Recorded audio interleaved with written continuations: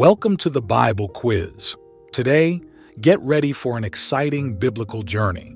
We've curated 25 questions to challenge your knowledge of the Holy Bible. Are you ready to prove just how well you know the Scriptures? But wait a moment, before we delve into the quiz, don't forget hit that subscribe button and give this video a thumbs up. Your support aids us in spreading the teachings of God. Once you're done with the quiz, don't forget leave a comment below, sharing how many questions you got right. We're eager to engage with you and be part of your Bible exploration. So, are you ready to dive into this enlightening adventure? Let's get started. Question 1.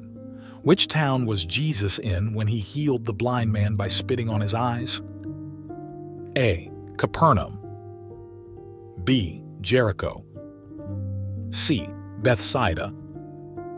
D. Bethany. You get 10 seconds.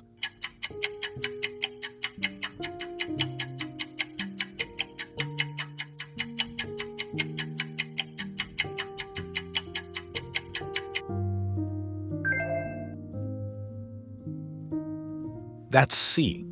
The correct answer was Bethsaida. Mark chapter 8 verses 22 to 26.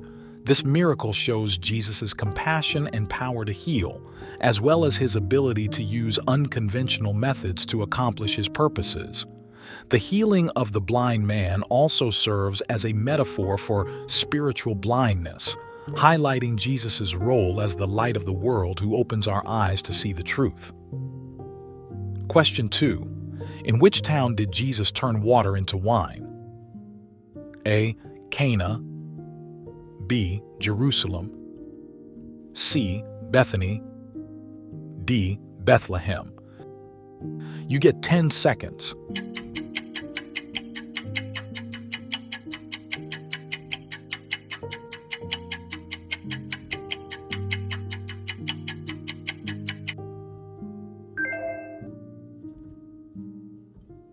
That's A.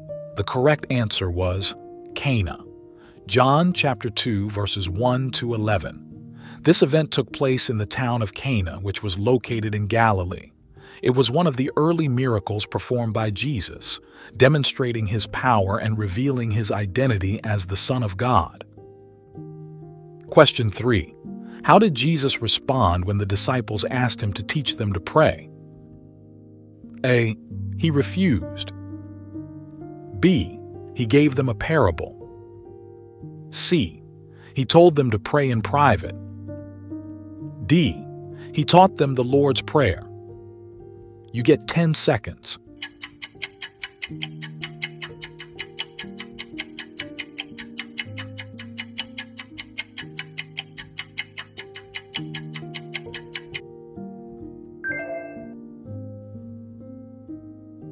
That's D.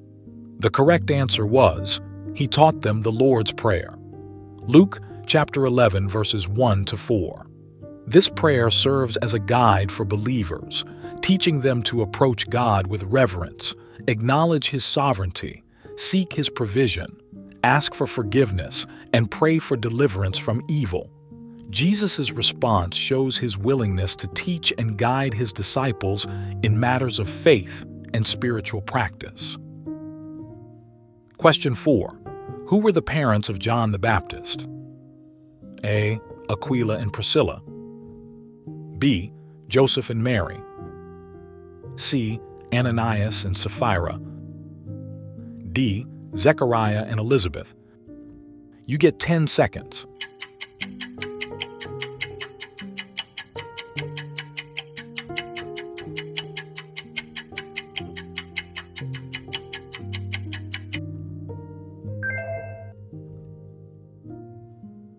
That's D. The correct answer was Zechariah and Elizabeth. Luke chapter 1 verses 13 to 17. This chapter states that John the Baptist's parents were Zechariah and Elizabeth. Elizabeth was a relative of Mary, the mother of Jesus. John was chosen by God to prepare the way for Jesus and to proclaim the coming of the Messiah. Question 5. What did Jesus say to calm the storm? A. Be calm. B. peace, be still. C. Quiet, be still. D. Be still, be peace, be still. You get 10 seconds.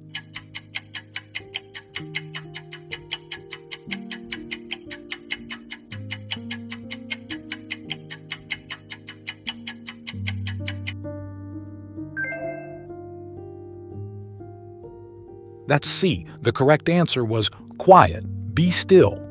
Mark chapter 4, verse 39. After Jesus rebuked the wind and said to the waves, Quiet, be still, the wind died down and the lake became completely calm. This miracle demonstrates Jesus' power over nature and his ability to bring peace to chaotic situations. Question 6. Where was Jesus when he said, Foxes have holes, and birds of the air have nests, but the Son of Man hath not where to lay his head. A. In a boat. B. On a mountain. C. In a temple. D. None of the above. You get 10 seconds.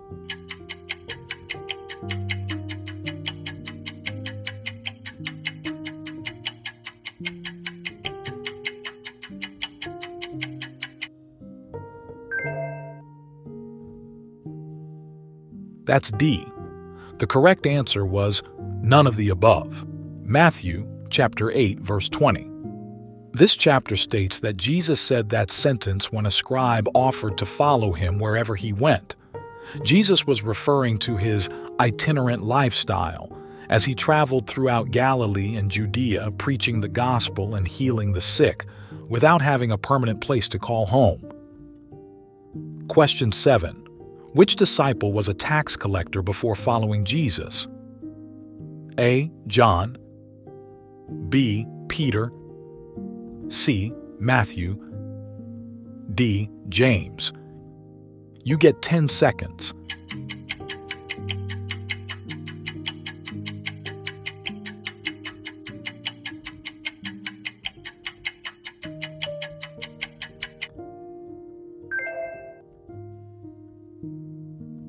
That's C. The correct answer was Matthew. Matthew chapter 9 verse 9. Tax collectors were despised by the Jews because they were seen as collaborators with the Roman oppressors and often collected more than what was required by law. Matthew's decision to follow Jesus and leave his lucrative job shows his willingness to turn away from a life of greed and dishonesty to serve God. Question 8 which Herod sought to kill Jesus during his infancy? A. Herod Antipas. B. Herod the Great. C. Herod Agrippa I. D.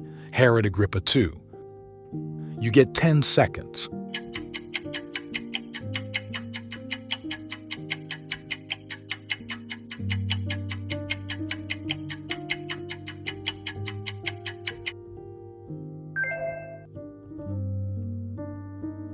That's B. The correct answer was Herod the Great. Matthew chapter 2 verse 16. When the wise men from the east came to Jerusalem in search of the newborn king of the Jews, Herod felt threatened and ordered the massacre of all male children in Bethlehem who were two years old and under. Question 9. What did Jesus do before he ascended into heaven? A. He broke bread. B. He sang a hymn. C.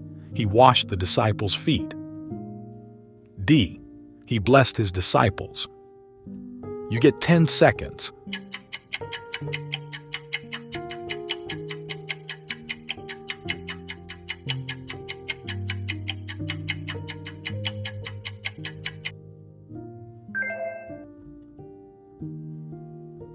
That's D. The correct answer was he blessed his disciples. Luke chapter 24 verses 50 to 53. Before his ascension into heaven, Jesus led his disciples out to Bethany. There, he blessed them and then was taken up into heaven. This event marked the conclusion of Jesus' earthly ministry and his return to the Father. Question 10. What did Jesus say about casting pearls before swine? A. That it is wise. B. That it is foolish. C. That it is commanded. D. That it should be done only on Sundays. You get 10 seconds.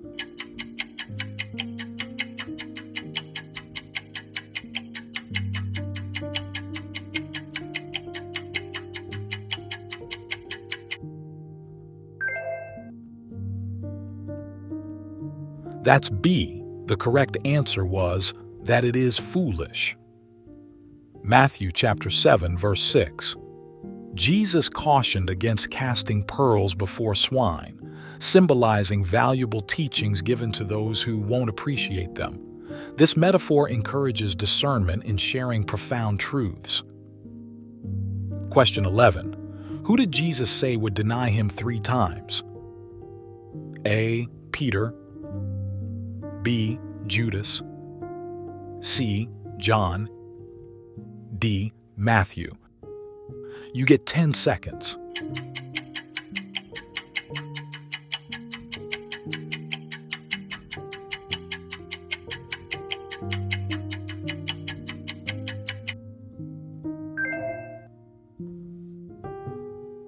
That's A.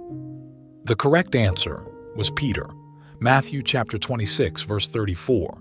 This chapter records Jesus saying to his disciple Peter, Truly I tell you, Jesus answered, this very night, before the rooster crows, you will disown me three times. This prophecy was fulfilled later that night when Peter indeed denied Jesus as foretold. Question 12. Who did Jesus say was like the wise man who built his house upon a rock? A. Those who do not hear his words and do not do them. B. Those who hear his words and do not do them. C. Those who do not hear his words. D. Those who hear his words and do them. You get 10 seconds.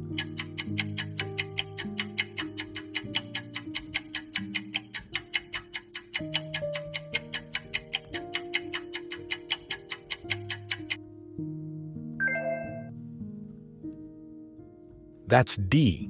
The correct answer was those who hear his words and do them. Matthew chapter 7 verses 24 to 27. This analogy emphasizes the importance of obedience and faith in Jesus' teachings. Those who build their lives on the solid foundation of his words will be able to withstand the storms of life, whereas those who do not will suffer great loss. Question 13. Who was the ruler of the synagogue whose daughter Jesus raised from the dead? A. Zacchaeus B. Jairus C. Nicodemus D. Caiaphas You get 10 seconds.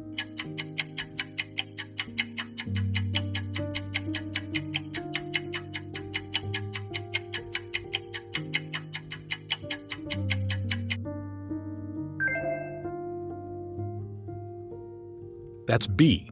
The correct answer was Jairus. Mark chapter 5 verses 22 to 24. Despite interruptions and delays, Jairus persists in faith. This event illustrates the importance of unwavering trust in Jesus, even when circumstances seem dire. Ultimately, Jesus responds to Jairus' faith by raising his daughter from the dead. Question 14. What did the centurion say to Jesus when asking him to heal his servant? A. If you are willing, you can make him clean. B. Speak the word only, and my servant shall be healed. C. If I may but touch your garment, I shall be whole. D. Lord, if you had been here, my brother would not have died. You get 10 seconds.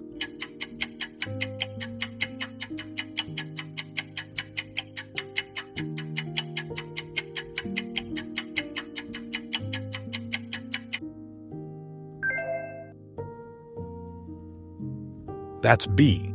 The correct answer was Speak the word only, and my servant shall be healed. Matthew chapter 8 verses 5 to 13. When Jesus offered to come and heal the servant, the centurion replied, Lord, I do not deserve to have you come under my roof, but just say the word and my servant will be healed. Question 15. Who asked Pilate for Jesus' body after his crucifixion? A. John. B. Nicodemus. C. Mary Magdalene. D. Joseph of Arimathea. You get 10 seconds.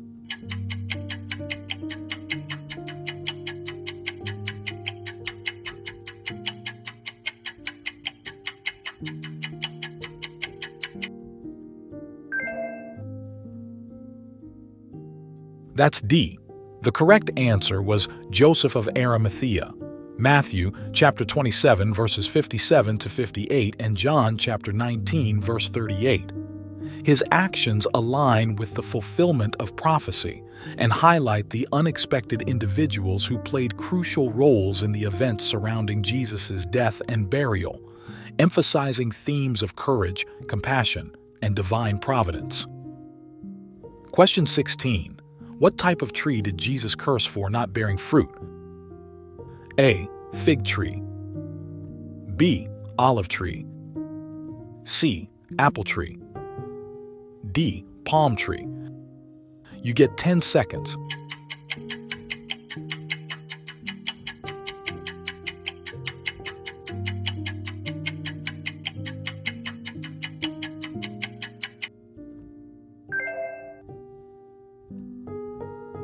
That's A. The correct answer was fig tree. Matthew chapter 21 verses 18 to 22 and Mark chapter 11 verses 12 to 14. Jesus cursed a barren fig tree for not bearing fruit. This incident symbolizes the consequences of spiritual emptiness and serves as a lesson on genuine faith and the importance of producing spiritual fruits in our lives. Question 17. Which disciple walked on water towards Jesus? A. John. B. James. C. Andrew. D. Peter. You get 10 seconds.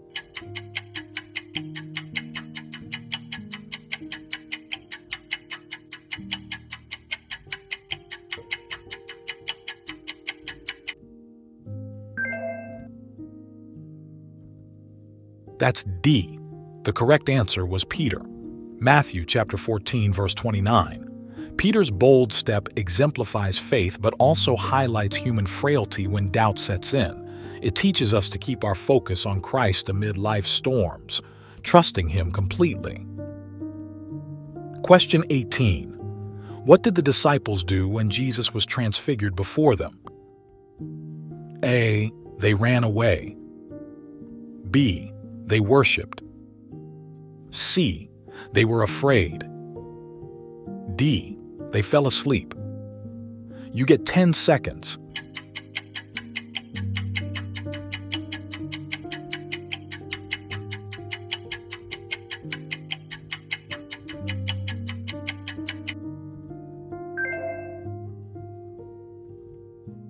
That's C. The correct answer was they were afraid. Matthew chapter 17 verse 6.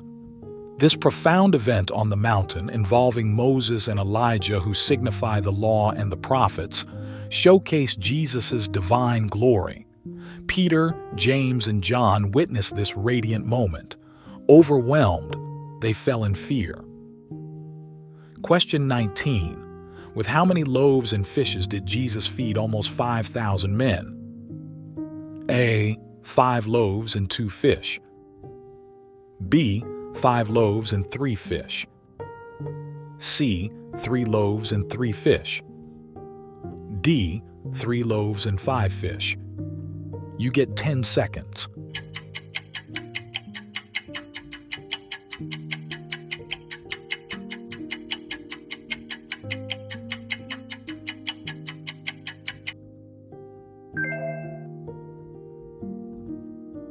That's A.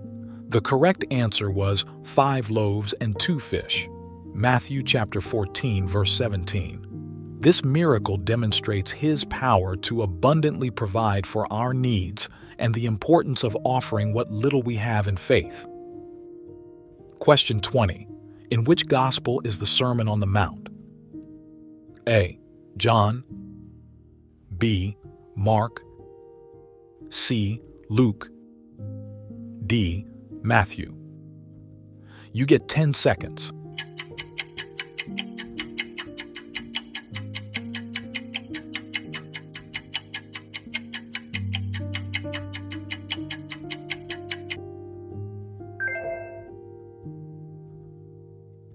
That's D. The correct answer was Matthew. Matthew chapter 5 verse 1.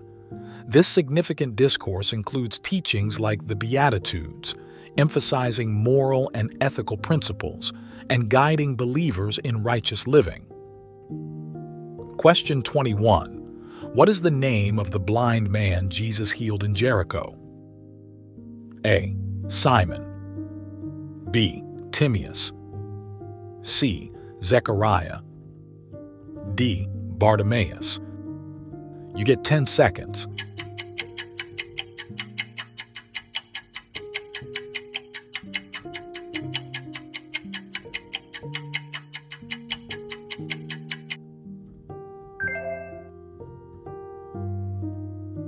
That's D. The correct answer was Bartimaeus. Luke chapter 18 verse 35. Despite obstacles, Bartimaeus cries out to Jesus, who responds with compassion and restores his sight. This event underscores the accessibility of healing through faith in Christ's willingness to respond to those who earnestly seek him. Question 22. In which city did Jesus raise Lazarus from the dead? A. Nazareth B. Bethany C. Jerusalem D. Bethlehem You get 10 seconds.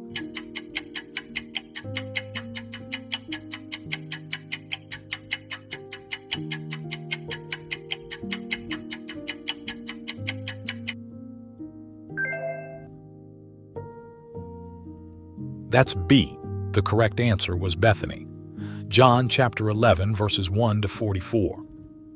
When Jesus arrived in the town of Bethany where Lazarus was buried, he commanded the stone to be rolled away and called out in a loud voice, Lazarus, come out! Miraculously, Lazarus emerged from the tomb, still wrapped in burial clothes. Question 23. Where did Jesus raise a widow's son from the dead? A. Caesarea B. Samaria. C. Nain. D. Nazareth. You get 10 seconds.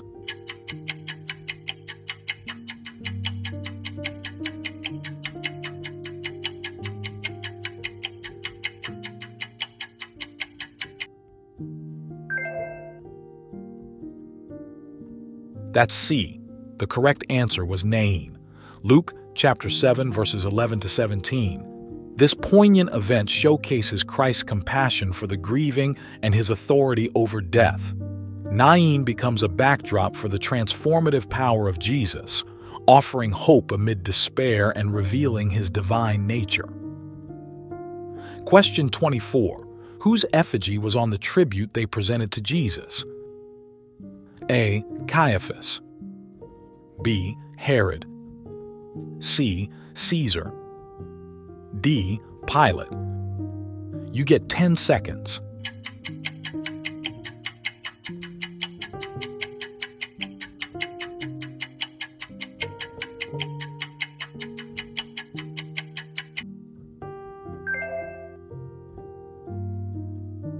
That's C. The correct answer was Caesar. Matthew chapter 22 verses 19 to 21. The Pharisees attempted to entrap Jesus by presenting a coin with Caesar's image and asking about paying taxes. Jesus, recognizing their malicious intent, wisely responded, Render to Caesar the things that are Caesar's, and to God the things that are God's. It underscores the balance between civic responsibility and devotion to God. Question 25. How did Satan tempt Jesus in the wilderness? A. By offering him power. B. By offering him food. C. By offering him wealth. D. All of the above. You get 10 seconds.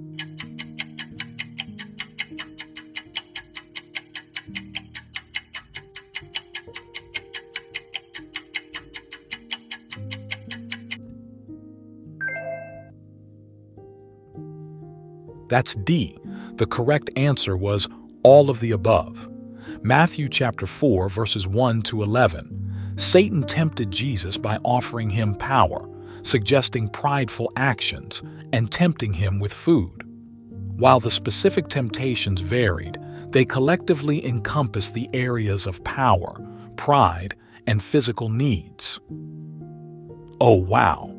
That was indeed an enlightening journey through the scriptures, testing your knowledge of the Bible.